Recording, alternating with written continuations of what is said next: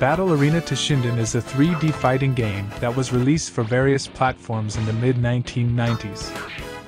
Battle Arena Toshinden was one of the early fighting games to utilize 3D graphics, which was a significant advancement at the time.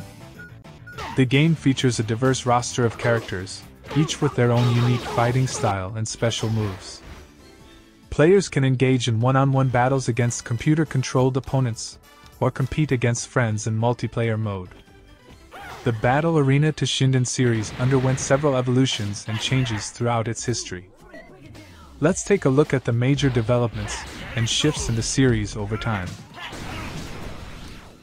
Battle Arena Toshinden, released in 1995, developed by Tamsoft and published by Sony Computer Entertainment, is a 3D fighting game that made a significant impact on the fighting game genre upon its release.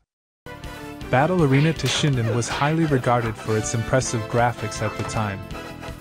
It was one of the early 3D fighting games to feature polygonal character models and interactive environments. The characters were well designed, each with their own unique appearance and weapon. The arenas were diverse and visually appealing, adding to the overall immersion of the game.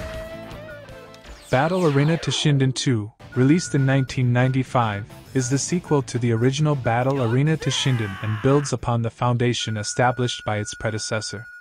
Battle Arena Toshinden 2 maintained the impressive 3D graphics of its predecessor. The character models were further refined, and the environments showcased more detail and variety.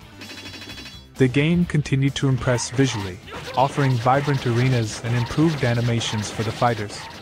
Battle Arena Toshinden 3, released in 1996, is the third installment in the Battle Arena Toshinden series.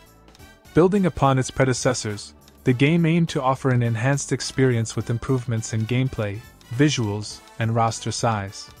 Battle Arena Toshinden 3 continued to utilize 3D graphics, albeit with noticeable enhancements compared to its predecessors.